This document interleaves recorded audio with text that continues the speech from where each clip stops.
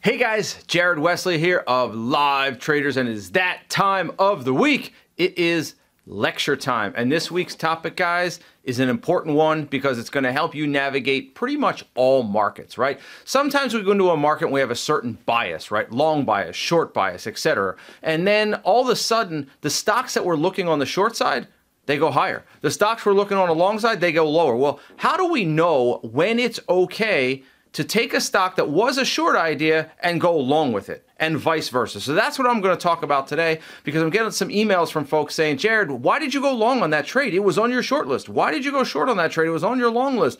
And I agree. There are it's not a common thing that I do, maybe 10% of the time, 15% of the time, but it's something, it's a tool that you should have in your toolbox because it'll help you navigate all market environments, right? Not every market is easy to trade, and sometimes we're wrong about our bias, and we have to accept that and be objective about it. So today, we're going to talk about that, and we're also going to talk about just how important the 60 minute chart is. Many of you out there are just not paying enough attention to the 60 minute time frame, especially for you intraday traders. All right, so if you like these videos, please click that like button, smash, hammer that subscribe button. I'm Jared Wesley of Live Traders. Let's get to it.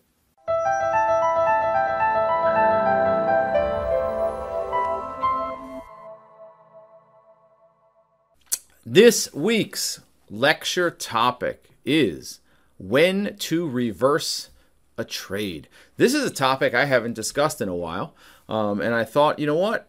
After seeing certain trades um, over the past couple weeks, as well as a not a huge influx, only about five or 10 emails. It wasn't crazy amount of emails, but people questioning why I took certain trades or, hey, if that was on your short list, why did you go long on it? That kind of stuff. And uh, I wish I had a little bit more time to put this together because I have quite a few more charts that I would like to have added. Having said that, there's about 20 charts in here, so there's quite a few. Um, and we're going to talk about when it's okay to reverse a trade. You know, when are you allowed to say, you know what? I know my bias was short, but I'm going to go long. I know my bias was long, but I'm going to go short. When is that okay to do? Um, so that's today's topic. But before we get into today's topic, let's first talk about when will the insanity stop? Um, these are these are not easy, guys. I mean, I know, you know, we we joke and we have a good time and all this stuff and some of these are hard. Like i'm married so i have a wife. I mean how do i tell my wife our life savings are gone? I threw in almost 90% of our joint savings account into doge at 0.40 or 40 cents expecting it to hit a dollar. I didn't realize that it was at 50 billion blah blah blah blah blah market cap blah blah blah blah. I'm sick to my stomach right now. Well you should be. Because any time in life that you go all in on something, you better be damn well certain, not sure, I mean certain, that you're right. Because I can't think of very many, if any, situations or circumstances where it's ever okay to go all in on something. And 90% is pretty close to all in, right? That's pretty close. Why? in my mind, the only reason a person would go all in on anything is one, they are certain, or two, this is more likely the case, two, they want to get rich quick. They're YOLO in it, they're diamond hands in it. They want to get rich quick. To me, I, I, I just can't imagine why you would ever do that, right? Why you would ever do that. Separate accounts, yeah, that's um, that's true love right there. Anyway, um, these are sad, guys. That's all I can say to this. It's sad, right? It's just sad. So, to you out there listening, watching, never go all in on anything. It's the same reason we have an entry, a stop loss, and a target on our trades. It's the same reason we never, ever risk more than 1% of our capital, our cash account, on a trade. And that's for an experienced trader, not a new trader. A new trader risks five bucks because you can't be trusted, right? This is just unacceptable behavior. And the problem is so many people do it. I did a Bitcoin video last year, and all I heard was, I'm all in. You don't know jack shit about Bitcoin, Jared. Well, Bitcoin's at 38,600 when I did that video. Just hit 20,000 yesterday, right? So let's dig in and talk about today's topic. So, not every day, not every day is like this. I put this in here as a reminder that yes, great smooth trades happen, right? This was a nice gap down under a bottoming tail in an area of support with room to drop. Gave you a five minute three bar play, wide bar, narrow bar, and it pretty much worked very quickly. It was a $3 stop loss, and that's giving it room. So you needed a $6 move, 174. My goodness, in less than 15 minutes, and you never really were challenged on this trade. So, yes, these things do happen, but this is not every day, right? You all know there are plenty of trades you take that don't work immediately, or maybe you have to really scan a lot or work hard to find those. And some days something like this shows up and you're like, okay, check, check, good. All right. So today's point is to say, well, what happens when things like this don't happen? Then what do we do? And it's funny because I did this last night late, and now today we have a sit on hands type trading day where the market's doing almost nothing today. Okay. So, one of the reasons that I'm doing this lecture is because I do get some of these comments from time to time. You know, this was yesterday for me. Okay faves Cowen, Crocs, BNTX, JP Morgan. And I always find it fascinating. People always pick on like the one trade you're wrong on because I think Cowen and Crocs did pretty well yesterday. But anyway, BNTX plus 10 bucks, far away from your post above. Right? I had BNTX on my favorites list under 149. Right? And what happened yesterday? BNTX ripped. Okay. Why a small gap down stock should be traded on the long side? Is it due to relative strength? Okay. And then, of course, you know, the sarcasm over here. Well, one, first and foremost, these people have no idea how we trade or what we do, right? They're just a bunch of pathetic internet gurus that really don't know anything, but they like to troll people, I suppose. Um, the point, though, is that a favorites list is a suggestion list, right? It's not a we're going to trade count over 28. You guys know that because you're in the chat room. But sometimes the general public thinks that's a recommendation, and it's not. That's just an area of interest. Isn't those the words we use every day? Areas of interest. But the question then is why would I do something like that? If this is not just on my gap list, but on a favorites list, why would you ever think about going long on something that's a, one of your favorite short ideas? Well, things change. Information changes, right? And you take a look right here. But, but, but, but, but, BNTX was on your short list. And then you look at the damn thing and you're like, wow. One, it never got close to 149, so who cares, right? But anyway, 151, I think rips up to like 163. You know, so to the layman, they're sitting there going, well, who is this idiot? He must not know anything about what he's talking about, right? And that's okay.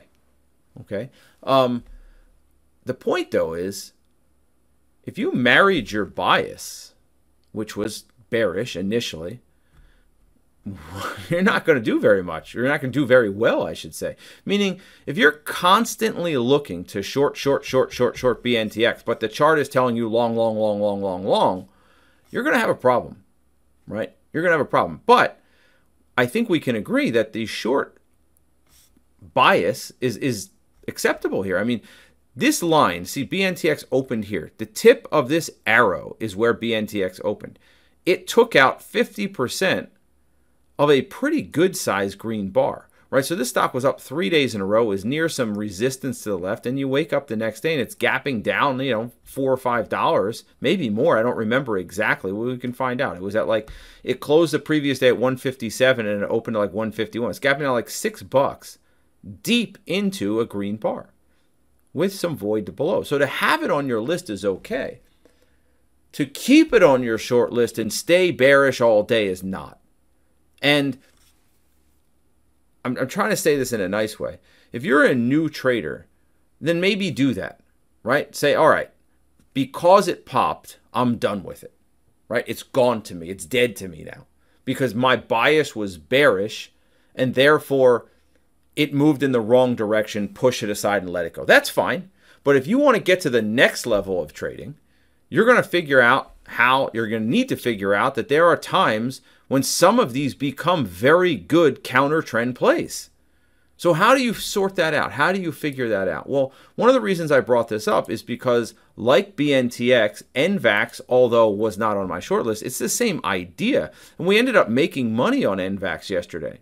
Right? So the point was is if I looked at that sector and I looked at BNTX and I looked at NVAX and you're like, well, no, BNTX is a good gap down. That means NVAX has to be a short idea. Well, no, we we flipped it and went long on it and made money on it. And otherwise, yesterday may have been a more challenging day, perhaps. Okay. So we're going to dig into this a little bit deeper.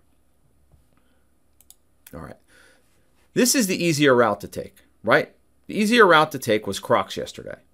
Okay. I'm not denying this. I'm just saying, and the reason I'm saying this is you don't have to do this, right? You don't have to find a way to go long on something that looked short. You don't have to find a way to go short on something that looked long it's it's more of a higher level concept. So if you don't want to do it, then don't do it. I'm not forcing you to do it. I'm just saying, hey, it's possible, but this is the easier way to make money, right? Crocs gapped up in a market that gapped down. Well, that's the easier way to make money. And this thing ripped. I mean, really, really ripped yesterday. And you, we talked about this. Um, I think it was somewhere on 49.50 on a buy setup. Remember, there was like a two minute buy setup with a 50 cent stop, and it went like 7R, maybe even more than that. Okay? So if you're not comfortable about what we're going to talk about, that's okay. Focus on just the Crocs type trades. Focus on just this Xilinx type trade. That's fine. Stay in your lane if you're not ready. Get me? Because I'd rather see you make money doing it your way than try to expand your horizon when you're not ready yet and then maybe lose money. All right. I do think it's good to expand your toolbox though because the market is ever changing. We talked about that. All right. So, what are we going to be looking at? When to reverse a trade. In my opinion, there are four times or four scenarios in which it's okay for you to reverse a trade. Climactic parabolics, that's the obvious one, right? When you think about professional trading strategies, that's the first thing you think of as a counter trend play. Oh, par- parabolics, climactics, okay? The next one on the list is mega gaps, right? And you can glean from professional trading strategies as well that mega gaps are a tough type of gap to go in the direction of the gap. Hence, we refer to mega gaps as novice gaps, right? They're not pro gaps, they're novice gaps because we're expecting them to change direction. We're not expecting them to continue in the same direction as the gap because the gap's too big, right? So, climactics, mega gaps, large turnaround bars. Well, you'll see one, right? So, I understand a turnaround bar by definition has to be a wide range bar, two times the size of an average bar. We know this, but sometimes you get extreme turnaround bars, right? Really large turnaround bars, okay? Those are kind of the ones I'm thinking of, right? And then, of course, unusual relative strength or weakness, meaning exceptional, exceptional relative strength or relative weakness. When you look at something and go, oh my gosh, the market's down 2% and this stock's up 5 or 10 and it's not stopping that's unusual relative strength, okay? Now, this can be hard to discern early in the day, but those are the four scenarios in which I would be comfortable reversing a trade. Okay, now there's a couple more double, triple bottom retest with higher highs and higher lows, but in the sense that stock is transitioning on that time frame. Does that make sense? So it's hard to say that that's a, it's a reversal, but it's a it's a cycle reversal, right? Where you're in stage one, two, three, four, but you're doing it on a micro time frame. But the key here, guys, is to understand that these are the exceptions. These are not the rules. The vast majority, I use 75%, but I think it's way higher than that. 75% of stocks move with the market. Again, it's probably closer to 80 or 90% of stocks move with the market. I mean that, okay? So when you have 80 to 90% of stocks moving with the market, these four categories become more challenging to find. And you got to make sure when you see one that you're really seeing what you think you're seeing. Okay, so as a general rule, don't buck the trend, right? The trend is your friend. You guys have heard that. A rising tide lifts all boats, etc. All right, so these are the four scenarios in which I believe it's acceptable for you to go the other direction. All right, so let's take a look at some of those. This is what I consider an extreme turnaround bar. I mean, this is a $25 bar, something like that. This is a stock but I want that gap down pretty big and then sold off. What I want you to note here, though, this isn't just a turnaround bar. What else is this? I know the answer most of you are going to give, but that's not probably the answer I'm looking for. Other than a turnaround bar, what also is this? Anyone? Other than an exceptionally large turnaround bar, what else is this chart?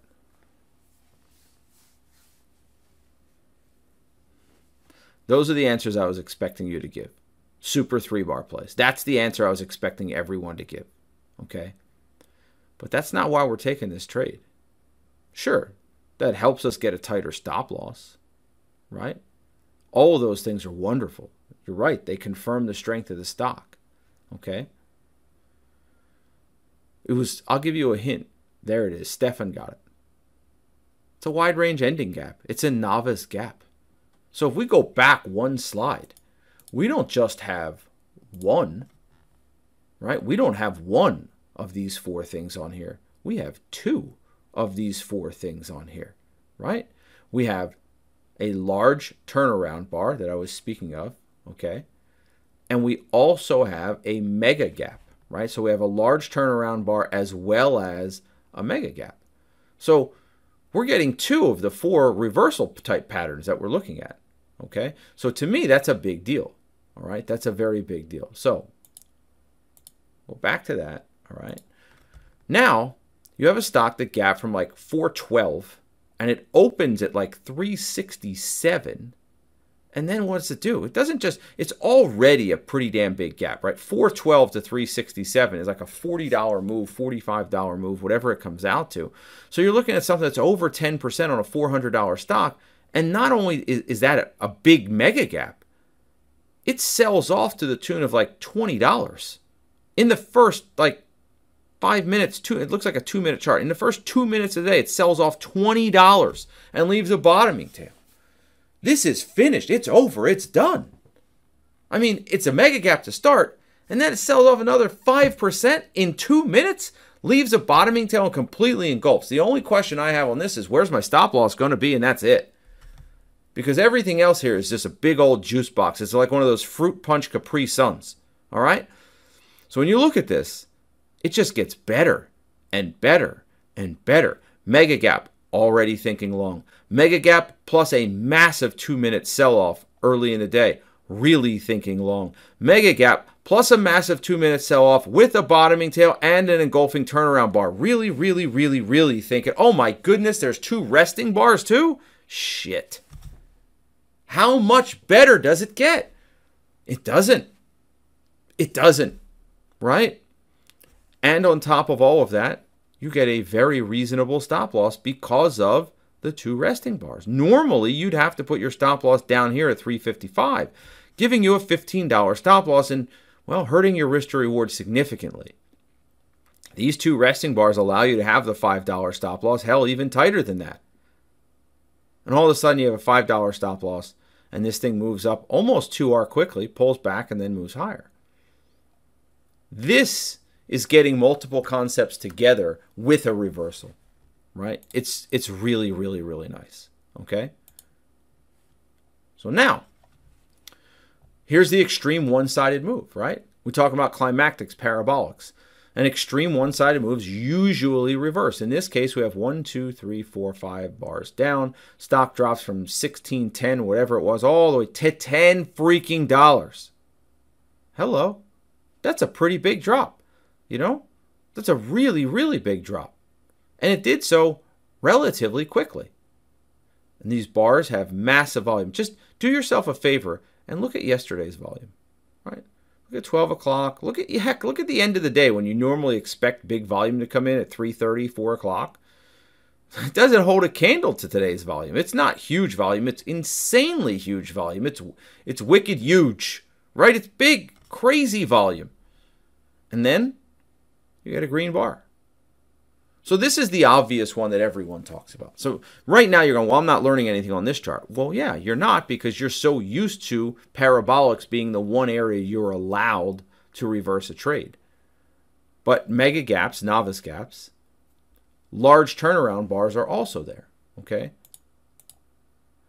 Now, this gets even better when we add the daily chart, doesn't it? Right? Now that you've added the daily chart, you're looking like, oh my gosh, this day is this bottoming tail. right? This day is the bottoming tail. And you go, holy smokes. So not only is this thing down one, two, three, four, five bars, it's down five bars after a daily pullback of one, two, three, four, five, six, seven, eight, nine, ten days in a row. And the 10th day decides to puke out like nobody's business, right? Like a college kid at a frat party, just puke out, okay? Praying to the porcelain god. And you're sitting there going, once you get it all out, it's going to feel a lot better. And then you go long. But when you can match that higher with the lower, this becomes a very obvious, obvious trade. Okay? So try to use multiple time frames as always, but make sure you're really seeing what you think you're seeing. One of the issues with parabolics and climactics is people just take little pullbacks. Oh, it's down 5%. No. I want you to I want you to feel bad for the people in here, which is rare because we don't ever feel bad for anyone else as long as we're taking their money. We don't care about anyone else. We're selfish like that. We're greedy. But this is one of those situations. Remember, like, what was it? LYT the other week? I can't remember what it was. When that stock dropped like 80, 90%, you almost feel bad for those people. Almost. Okay? Now, go back to yesterday. The Qs gapped down about 1.4% yesterday. The SPY was down a lot. Both indices, right? IWM was down, SPY was down, the Qs were down, right? They all gapped down yesterday. And when you see where they gapped to, they were near some support, right? Previous day's low. So if I take this, let me take that and put the arrow right there.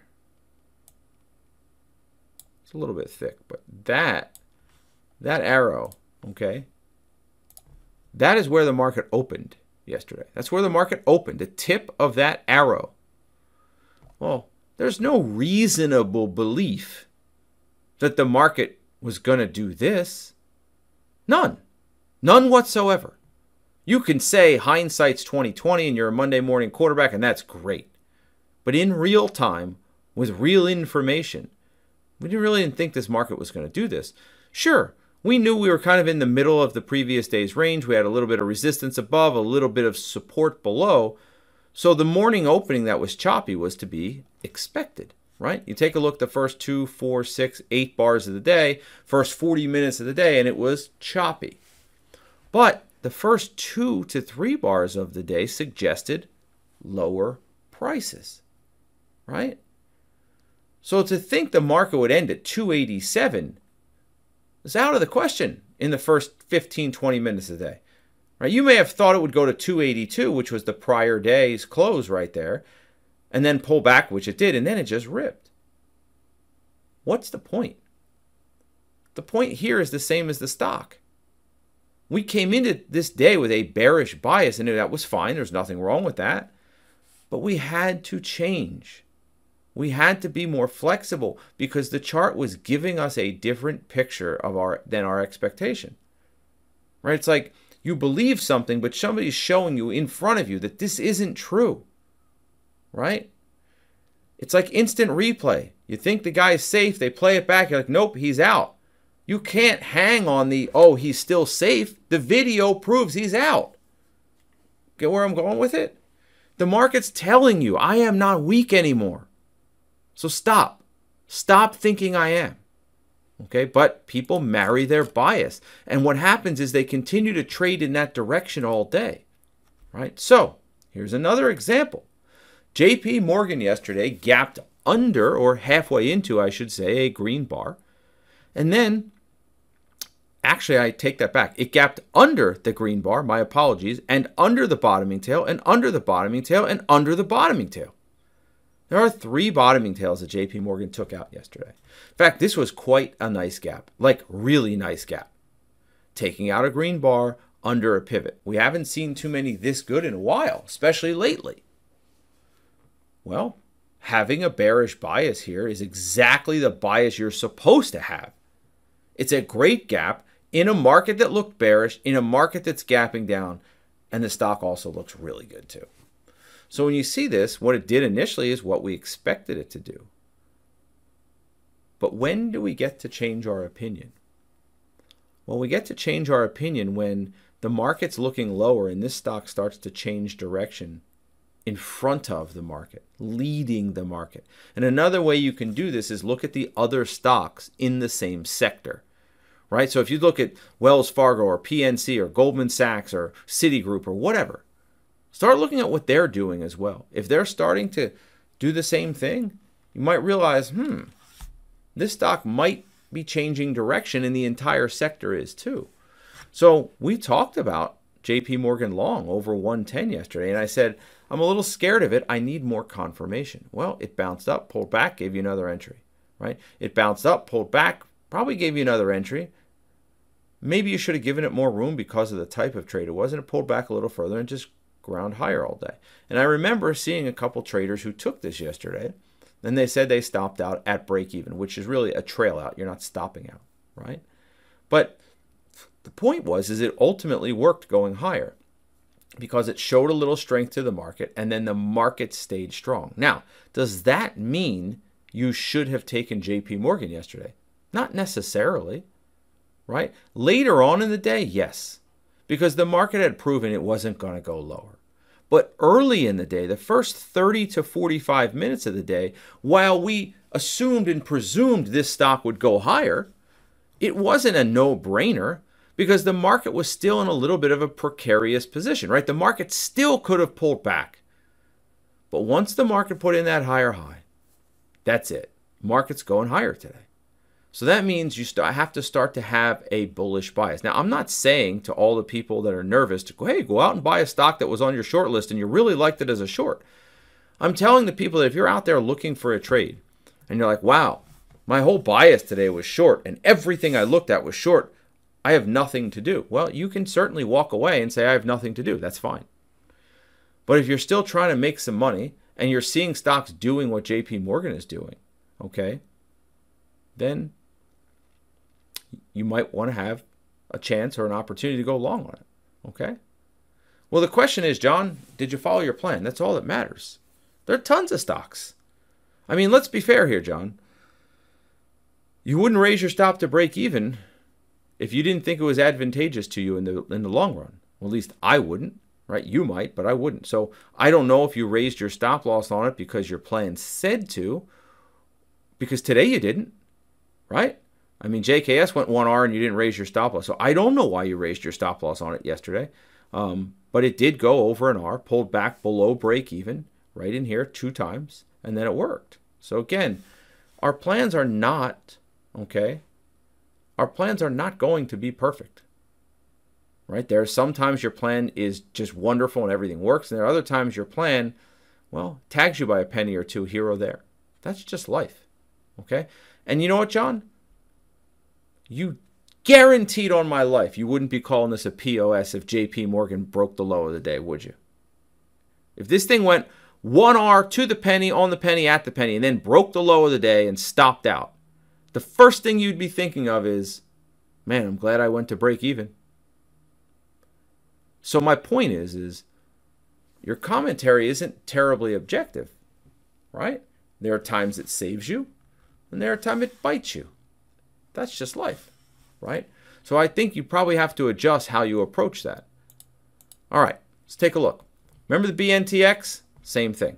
Markets turned, BNTX ripped it's a bearish gap down. But you have to change your opinion. Now, I am not saying here, okay, all right, I'm not saying that there was a great entry here. I'm simply saying that despite this being a bearish gap down, I have no choice but to change my perspective and my opinion on this. I don't have a choice because the chart is speaking to me. I am not trying to give my opinion to the chart. The chart, let the chart speak back to you.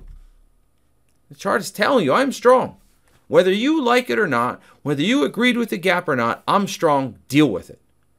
The problem is most traders don't. They marry their bias. Guys, why am I bringing this point up? Most of you probably don't know. There was two people, definitely one. I think there were two people in the chat room yesterday go, can we short BNTX? And NVAX, both. One person was talking about NVAX, another person was talking about BNTX. Why would you want to short this stock? Sure, and you're like, well, geez, I would have been right, Jared. It went from 162 to 154. That's true. It was extended. But something this strong is not something you generally get in the habit of shorting unless it becomes climactic. It's borderline. $10 to me isn't climactic. The volume is declining, not increasing, right? You do trade size. You have to trade all environments to make it. So my point though is right around here, someone's like, hey, can we short this? I'm like, no.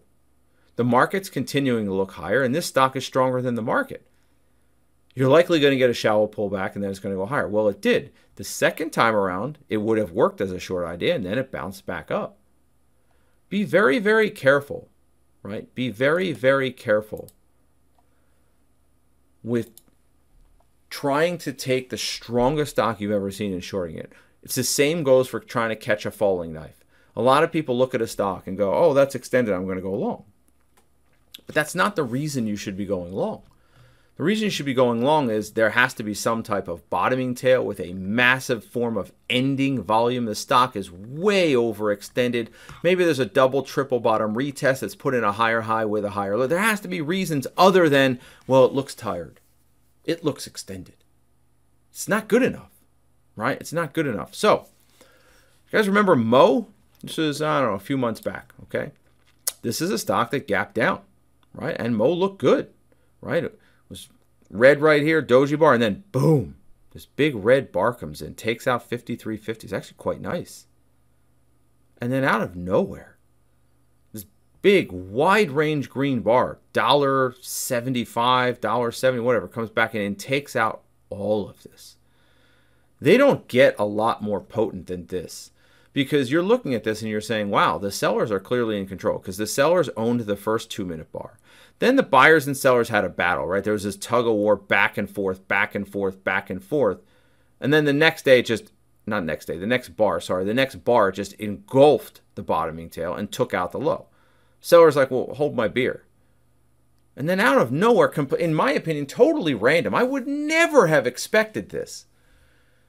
A huge wide range bar comes in and takes out the sellers in the red bar, the doji bar, and the first two minute bar of the day in my opinion, totally and completely unexpected. You look at the time of the day, there's no big news report, there's no oil report, there's no natural gas report, there's no energy report. Why did it do this? I don't know, but I got to change my opinion on it. I don't know. But that bar tells me my short bias is dead now. Dead. Anything I thought about weakness on this stock is no longer valid or relevant. It's now bullish. You buy it at 54, Put your stop loss down there, perhaps 53.70, whatever it is. It rips back up. Goes up to 55.50 almost. That's a dollar fifty. The point I'm getting at is this stock gave you a valid reason to change your opinion, to reverse your bias. Not all stocks will do this. And again, a stock that just grinds back up a little bit is not as potent as somebody who just rips the band aid off, right? Just take it off, tear it off. The buyers are in control here. Chops around a little. Why? Well, it's probably a little tired from that huge move up. Chops and then rips. And it ripped. This is a powerful wide range bar. It's a trend changing turnaround bar. Despite all of our bearishness or bearish bias to start the day on this, you're forced to confront the new reality. It's bullish now. Okay?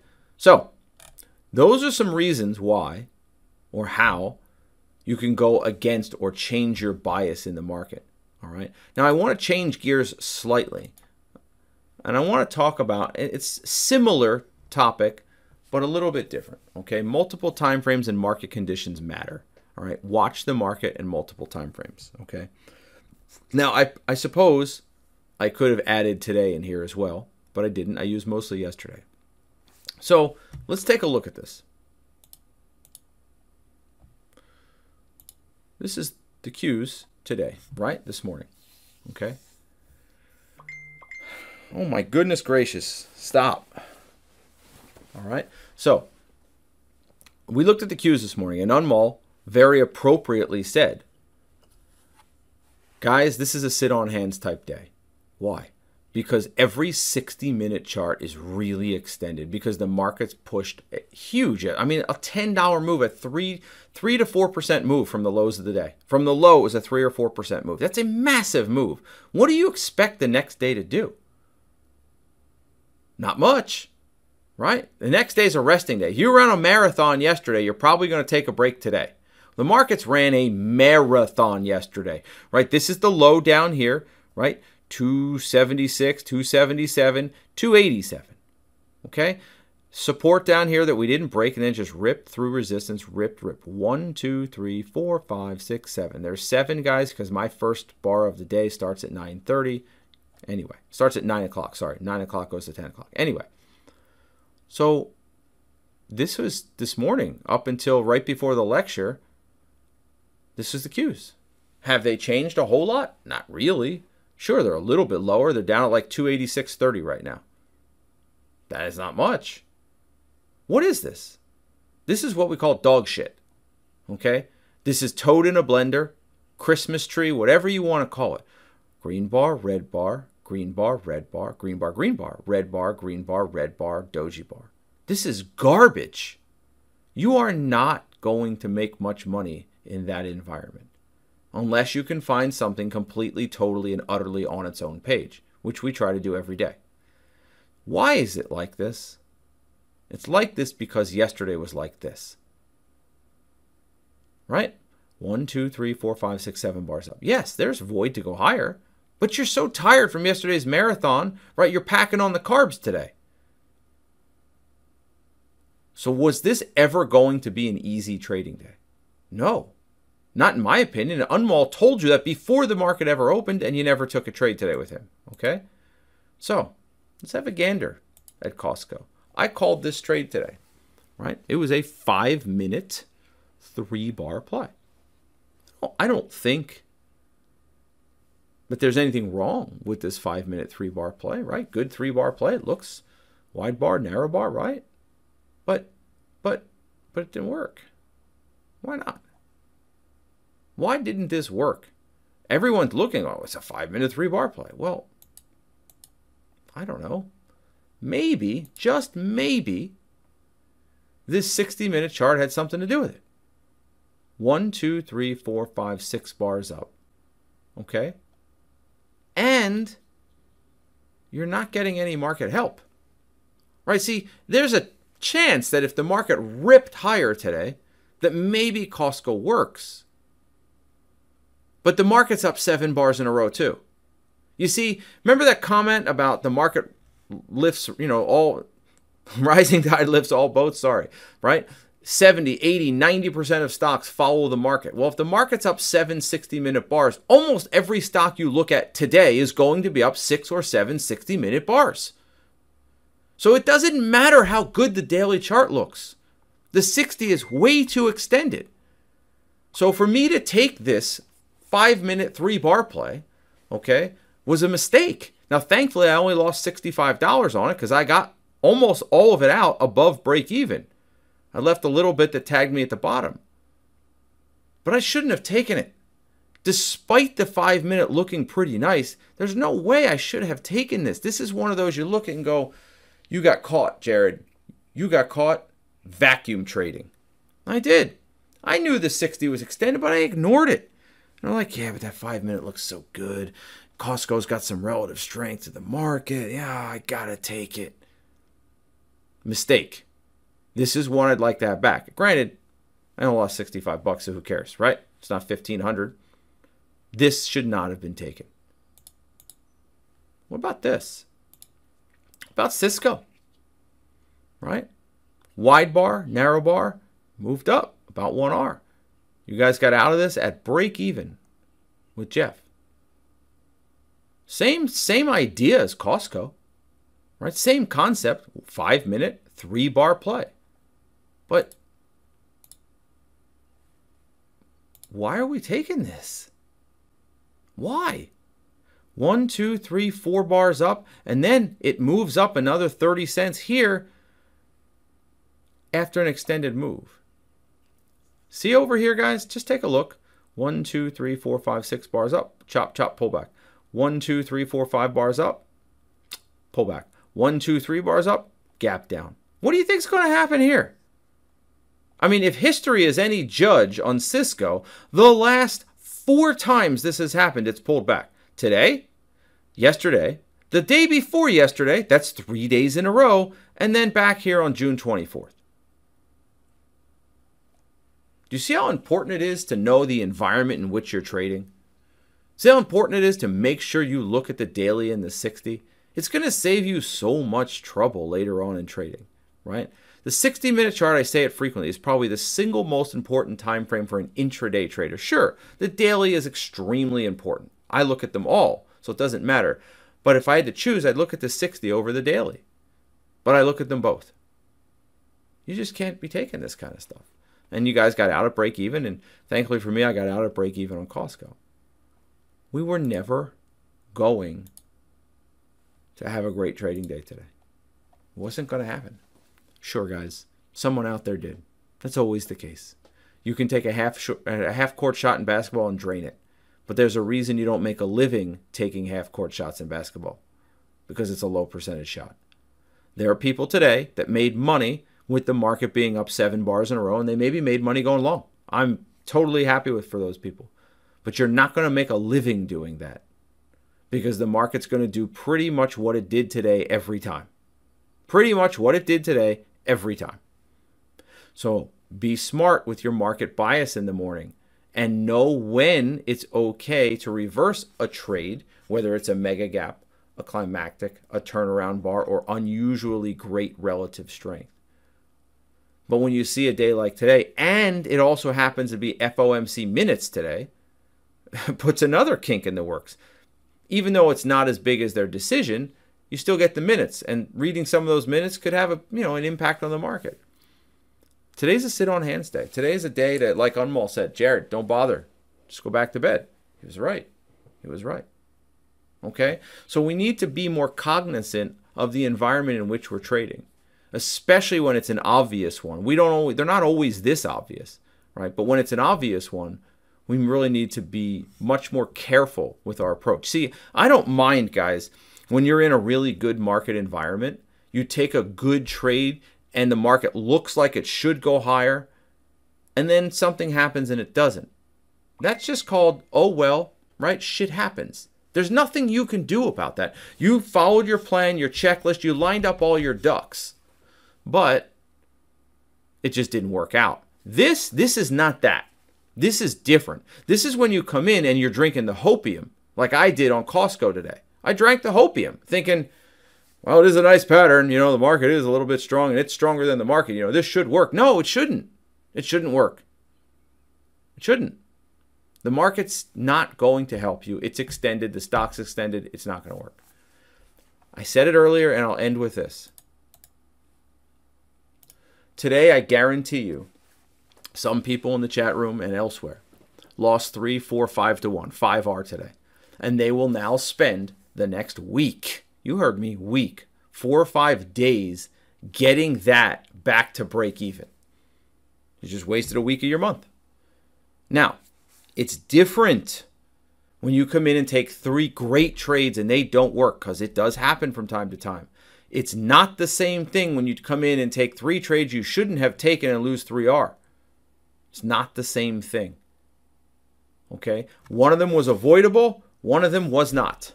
Today's was absolutely avoidable. All right.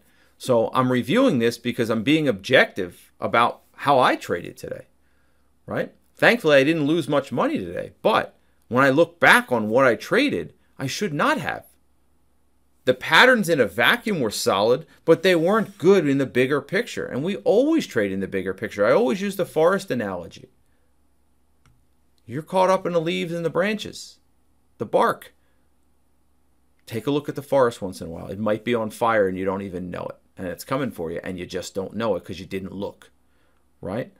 So, with that, I hope you guys learned a little bit about when you can reverse your trades, how important market information on the 60 minute chart is, and how that 60 minute chart relates to your own individual trades. Okay, and hopefully that will help keep you out of trouble as well as take advantage of environments that you might think you're not able to take advantage of by reversing a trade when the market tells you that it's done going lower. All right. So I'm Jared Wesley of Live Traders. We'll get back at it again next week.